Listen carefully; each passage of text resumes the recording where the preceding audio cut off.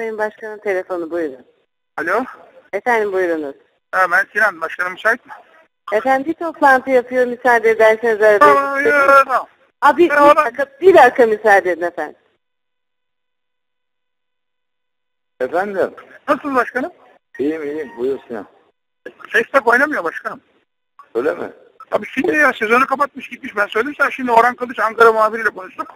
He. Oynamıyor Sestak. Onların en iyi futbolcusu o. İyi iyi. Yener Sinan. Saplı Sestak. Sen ne yapıyorsun? Cina'da oturuyoruz. Kimden? Ben de öyle söyledi. Cina'dayız. Bizim Tunç var ya. Ha. Fenerbahçe. Onunla oturuyoruz. Onu da şimdi sorduk da. Merak etti onun için söyleyeyim diye. Tamam. Kapı ara Sestak. Tamam. Oynamıyor. Tamam. Oldu. Ben büyük ihtimalle oynayamayacakmış. Haberin olsun. Tamam. Tamam. Hadi öptüm başkanım. Tamam.